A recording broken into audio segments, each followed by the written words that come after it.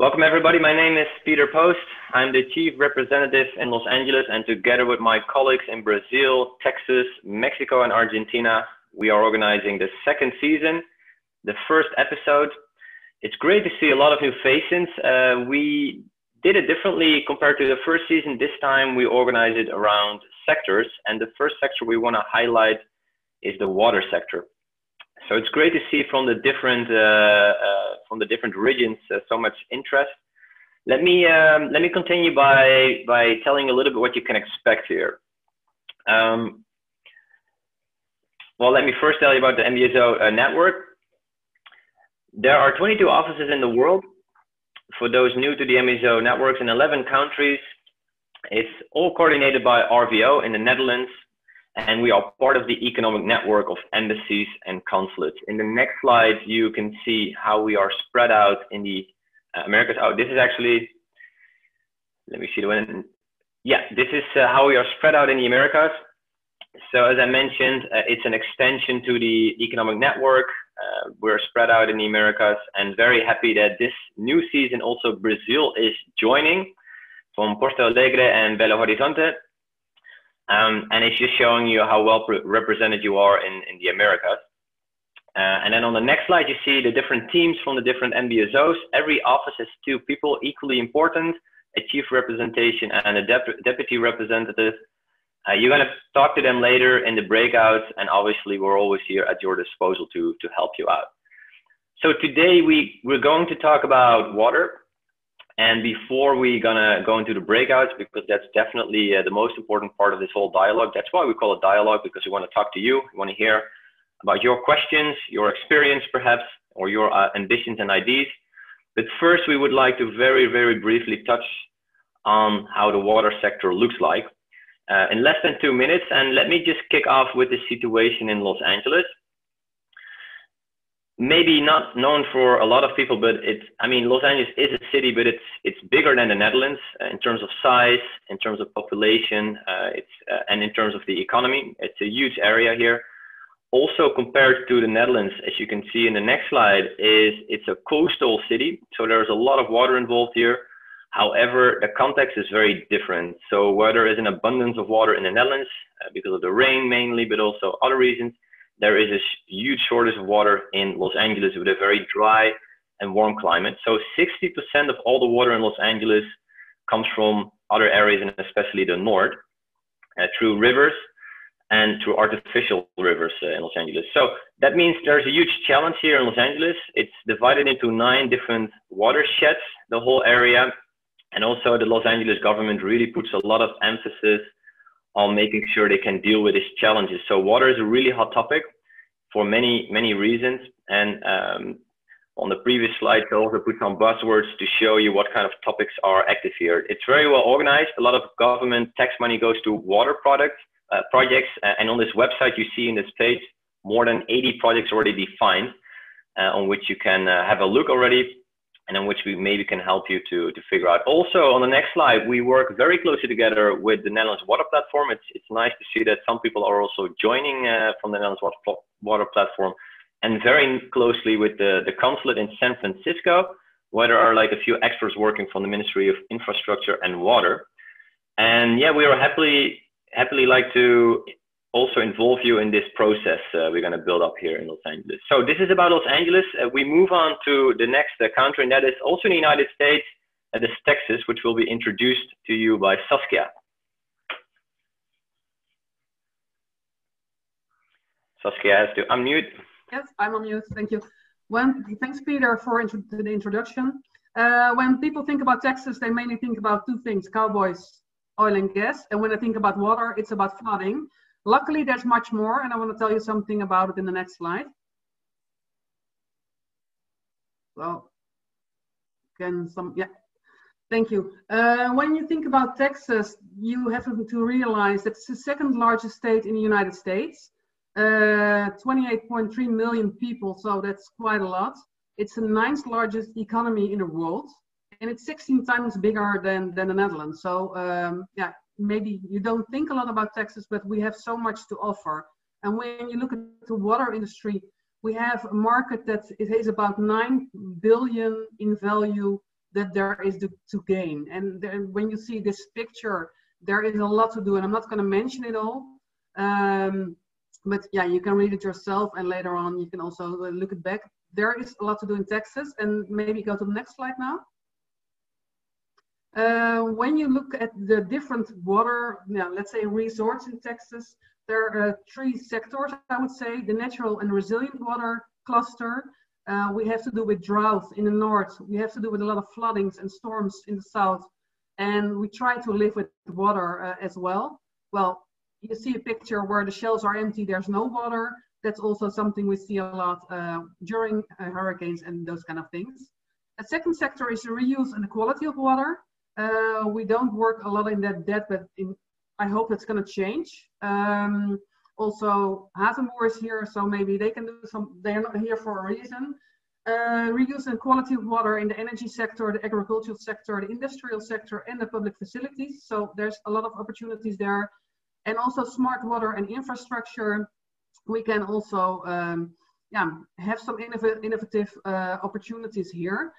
Uh, what I would like to conclude is that we're going to work on a sector report on water for Texas. So this is just a highlight, and in the sector report, you'll find all the, the opportunities and innovative things there are. So uh, be aware of what's coming. Um, the sector report will give you more input, and this is just a highlight. So thanks for being here, and we talk to each other later in the outbreaks, breakout rooms.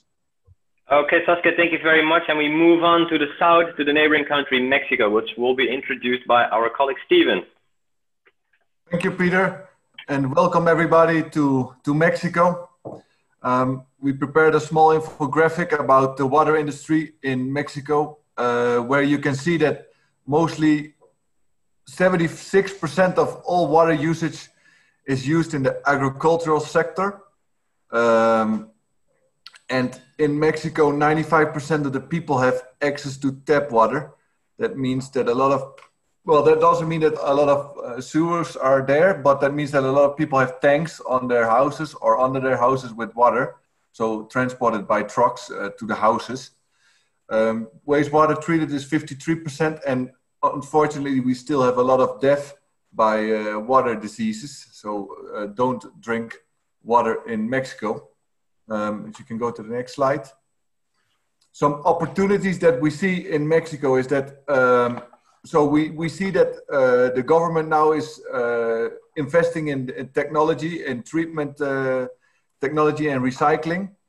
Um, but unfortunately, Mexico, Mexico City is a, is a city that is sinking. So the picture you see behind me is getting lower uh, all the time, for approximately 40 centimeters a year. Uh, the pipeline systems are, are old, up to 40 years old, so they need renewals. And we see a lot of opportunities for uh, the water sector in the agro, where uh, in Mexico you use around 40 liters to produce a kilo of tomatoes instead of four liters uh, what we use in the Netherlands. So there are some technologies that can be implemented. A small overview of Mexico. I hope to see you all in the breakout rooms to talk more about uh, the opportunities. Thank you, Stephen. And we're going more down south to Brazil. And first, Belo Horizonte, introduced to you by Willem. Hi, uh, good afternoon, everybody. Um, for the people that don't know Brazil, uh, Minas Gerais, in terms of economy, is the third largest state after Rio and Sao Paulo.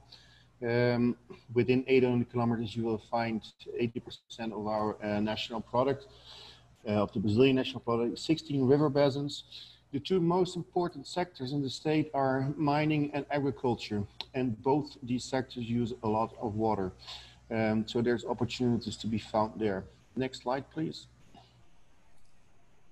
Um, when we look at tailing dam management, um, we have a lot of tailing dams that need to be uh, dredged out. So there's um, there's possibilities there, but also the water usage is um, is is high in mining. So we see a lot of companies they're actually using water without paying for it. So we're still having, uh, we're looking into um, the possibility of ground level control between agriculture and mining. And of course, in uh, agriculture, we see the same as in the other regions here, uh, a lot of spills in, in water usage. Um, and then there's more generic problems uh, in Belo Horizonte, the capital. We see flooding, and in the north of the states, we see droughts. Um, although the average rainfall here is higher than in the Netherlands, um, there's still droughts because it all falls within one or two weeks. Uh, I hope to see you soon in the breakout sessions. I saw a lot of familiar names, so I hope you can um, meet other NBSO's offices as well today. And thank you all for your attention. See you soon. Thank you, Willem. And Brazil is a huge country, so we go to another part, Porto Alegre, which is represented by Richard. Hello and welcome everybody. Um, NBSO Porto Alegre is uh, situated in the south of Brazil and um, the area is uh, known for its quality of life, business climate and um, it's one uh, the NBSO for Southern Brazil is also one of the oldest in the network, founded 22 years ago, and that's because the Netherlands has special interest here. And uh, the reasons for that are the location, the natural advantages along along the coast, lots of rivers, natural ports. And to, today there are five business ports here uh, with the shortest routes to Asia from this side of the Americas. And um, people say that things are organized efficiently here. Um, there is a strong cultural connection also with neighboring countries, Argentina, Uruguay, Paraguay, and Spanish is spoken uh, for this reason. And also English, German, and Dutch is spoken here um, because of the many Europeans that like this area. And to give some highlights for Dutch companies on water, um, we need water because agriculture is very important. Uh, the region feeds Asia and exports a lot of rice and irrigation systems are needed. Uh, there are good opportunities regarding sanitation. And then there is the world's largest energy, energy producer here with the hydroelectric power plant of Itaipu. Uh, so Dutch companies are providing high-level consultancy services. And um, by the way, it's also highly advised to visit the Itaipu uh, waterfalls if you are in the area. They are among the world's most beautiful.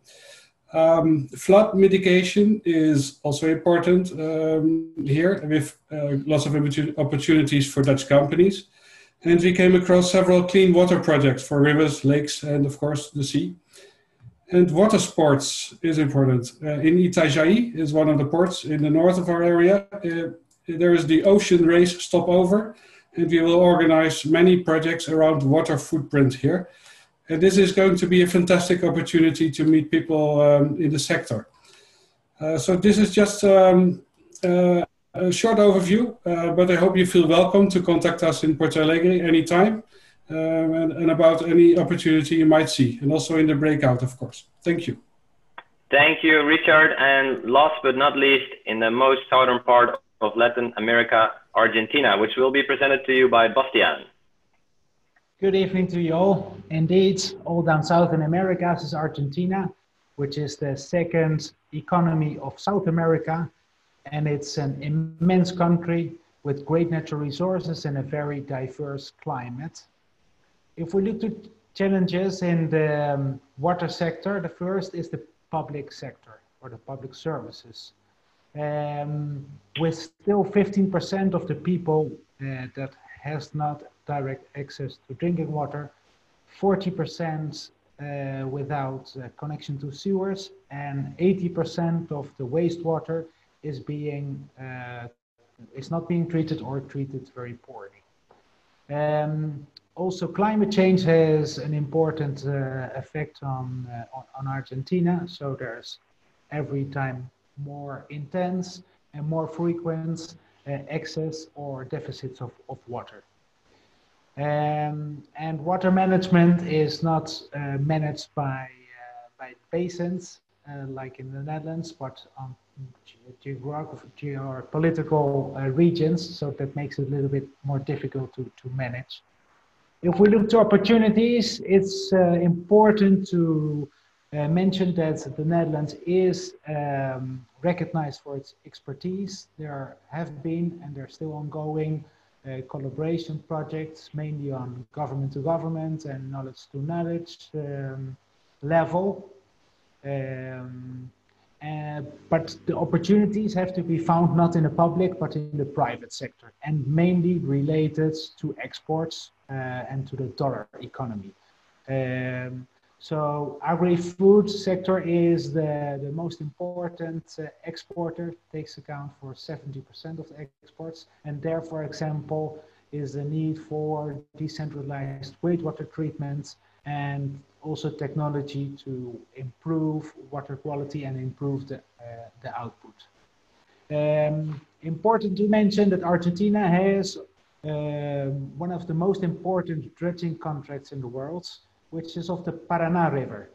And there's a tender due for a contract for 10 years uh, next year, and there are very specific opportunities for Dutch companies. Um, then if we look to where the most investment uh, dollars will, uh, will go, that will go mainly to the oil and gas and mining sector, where Argentina has great reserves and, uh, and also water management is very important. So it's uh, uh, fracking on one side and mining in, in, very dry areas. So there we need technology and engineering solutions that, that facilitate safe and uh, sustainable production. Back to you, Peter. Thank you so much uh, to all my colleagues. That is a lot of opportunities and well, let's say especially challenges. So no lack here of things to do. If you feel, because you only could choose three breakouts that you really want to talk to a different region, don't worry. Uh, at the end of this uh, whole webinar, you're going to see our contact information and we're readily available to you. So we're going to move on now to the most important part of this dialogue, the breakout sessions. What's going to happen that in a few seconds, you're going to go to your first breakout. Within this breakout, uh, you're going to meet the people from the office that you would like to talk to.